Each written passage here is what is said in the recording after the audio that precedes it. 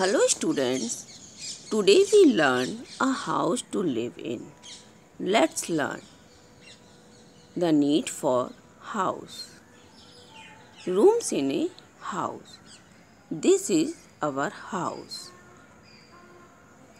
All of us need a house to live in.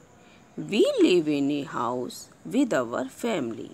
A house gives us shelter. It protects us from the sun, rain, wind, cold and keep us safe. Rooms in a house. A house may have many rooms like bedroom, kitchen, bathroom, drawing room, study room, dining room, etc. Kitchen. We cook food in the kitchen dining room we eat food in the dining room. Study room we study and do our homework in study room. Drawing room we spend time with our family and friends and serve our guests in the drawing room.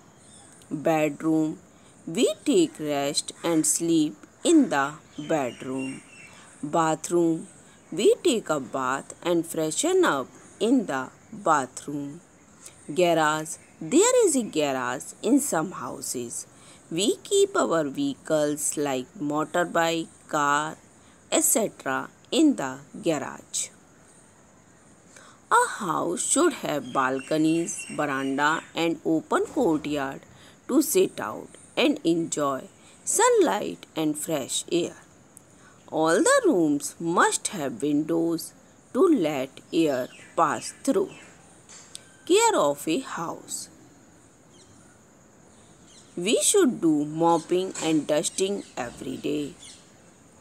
Shoes and slippers should be kept in a shoe rack. All the things should be kept at their proper place. We should throw garbage in the dustbin. We can put wire mesh on doors and windows to keep out mosquitoes and insects. A garden adds to the beauty of a house. Plant one if space allows and give a green touch to your sweet home.